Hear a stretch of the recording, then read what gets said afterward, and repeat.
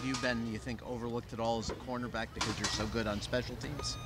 Um, you know, I think uh,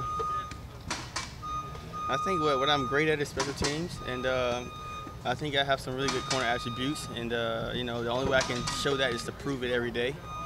Um, so you know, nothing is given to this, in this league, and um, you got to earn everything. And I think uh, me uh, playing and producing will eventually earn me time to play on defense, and uh, that's a continuous daily grind that I'm going to continue to work on and, and, focus on and to get better as a as a overall player. I know you're happy to contribute any way you can, but were you happier leaving work playing for Houston where you played more than a quarter of the defensive snaps as opposed to the Giants where you played 2% of their defensive snaps last year? You know, I'm blessed just to play the game, to be honest, and uh, I enjoy, uh, you know, whether it's 2% or it's 120%. Um, any percent counts as long as it helps the team. So a lot is made of the speed of the, on, on, offense with Hill and Waddle and Raheem.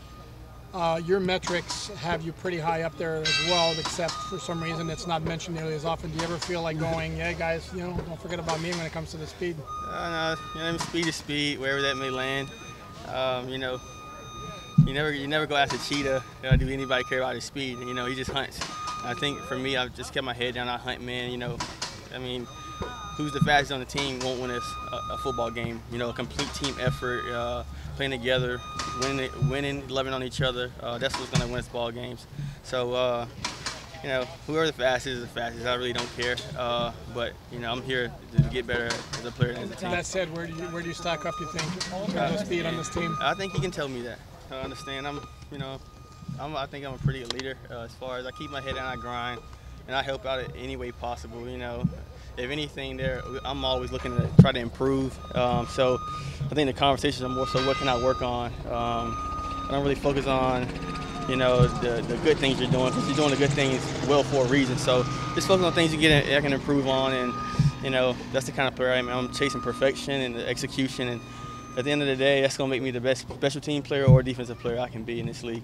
Yeah, I don't know how much you saw from uh, last year's defensive tape, but this defense is really good at closing out games. Mm -hmm. You know, the situations late there in practice definitely, I think, favor the defense. Would you agree as far as, you know, the offense has to push the ball down the field? That probably favors the defense. What do you think you learned about how the defense was able to close out situations today? Um, you know, I think it's a learning progress. Uh, like I say, it's, we got a lot more of this to do.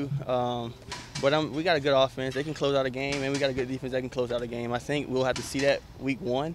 Um, but right now it's training camp, and that's what you prepare for. You prepare for week one and try to prepare to close out games. And I think this is the, the first couple steps we need to take to do so. Is it fun for you guys to get those more situational type of, of practices opposed to maybe more install?